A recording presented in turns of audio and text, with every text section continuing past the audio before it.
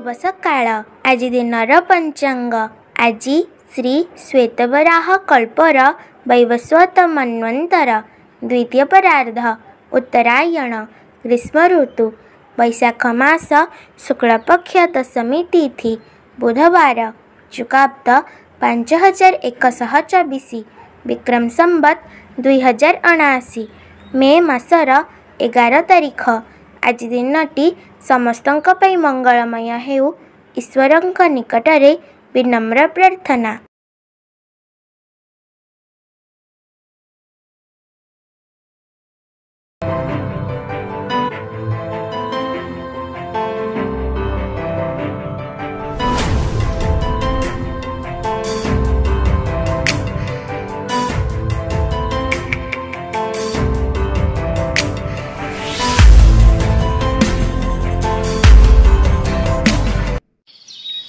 ଥରେ ଭଗବାନ ମହାବୀର ଭିକ୍ଷା ପ୍ରାପ୍ତି ନିମନ୍ତେ ଏକ ଗ୍ରାମକୁ ଯାଉଥିଲେ।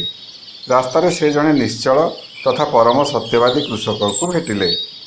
କୃଷକଟି ମହାବୀରଙ୍କୁ ଦେଖିବା କ୍ଷଣି ଦୁଇ ହାତ ଯୋଡ଼ି ତାଙ୍କ ପାଦ ଛୁଇଁ ନମସ୍କାର କଲା।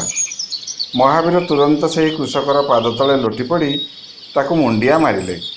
ଜଣେ ମହାନ ସନ୍ନ୍ୟାସୀଙ୍କୁ ନିଜ ପାଦ ତଳେ ଦେଖି କୃଷକ ଜଣକ ହଡ଼ବଡ଼େଇ ଗଲା। ତାର ଆଖି ଲୋତକରେ ଭରିଗଲା।